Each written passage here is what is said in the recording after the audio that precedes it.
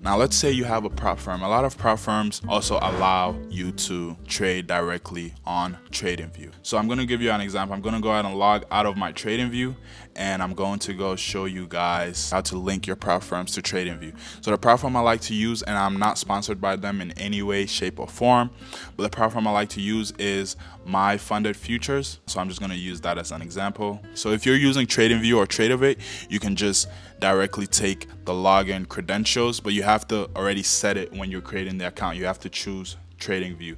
So once you choose trading view, you can just come here, take the credentials, you take the username, go into trading view, you go here, and then you go right here into Tradovate, and then you put the corresponding credentials right there, boom, and then it's connected so you can see everything. If you have multiple accounts, it's gonna show right here. You click that and it's gonna show all your accounts. Now I've linked my prop firm to TradingView.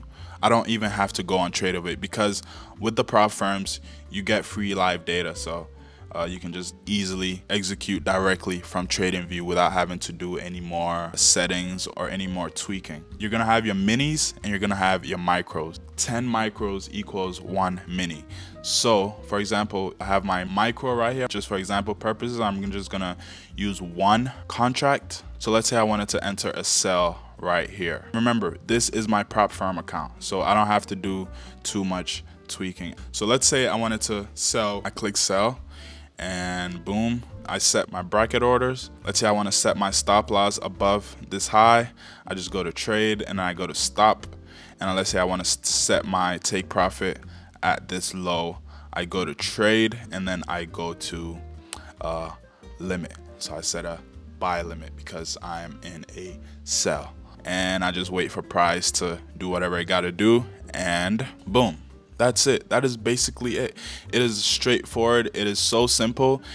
I personally think it's better than MetaTrader simply because it is user friendly and I just naturally do all my analysis on TradingView. So it's just great that you can execute directly on TradingView. What I used to do when I traded Forex in the past is that I'll analyze on TradingView and then I'll execute on MetaTrader.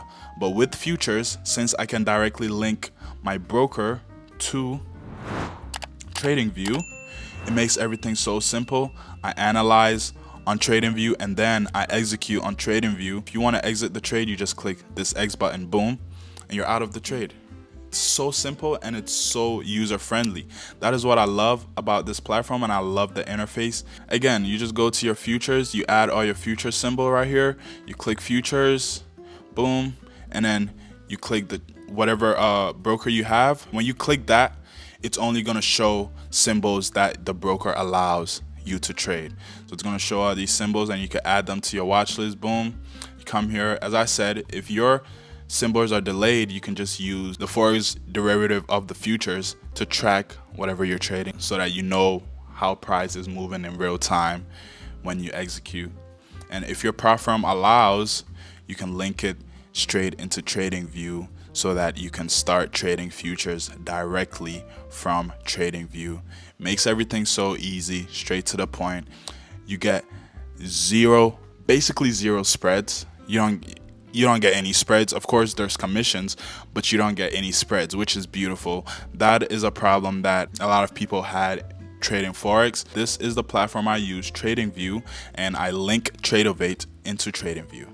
So that is how I'm able to execute directly on TradingView and that is how I'm able to trade my live accounts as well as my prop firm accounts simply by linking them into TradingView and directly executing right here. So I hope this video brought you guys some value. I hope you learned a lot from this and I hope that you can start trading futures as soon as possible.